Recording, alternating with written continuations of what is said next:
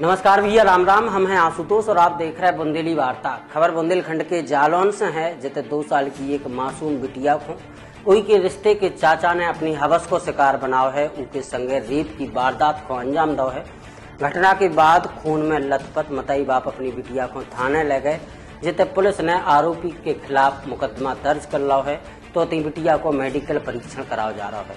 दरअसल जब पूरी घटना है जालौन के कौच क्षेत्र की, कौच क्षेत्र के एक गाँव में रहने वालों एक परिवार, मेहनत मजदूरी करके अपनी बिटिया को पाल रहो तो बीते सोमवार की बात है। सोमवार को बिटिया को पिता मजदूरी करके खिलाने गए तो घर अपनी पत्नी और दो साल की बिटिया को छोड़ गए तो।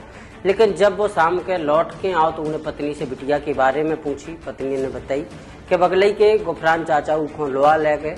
जब बिटिया को पिता गुफरान के घर पहुंचो तो बिटिया के रोवे की आवाज़ आ रही थी।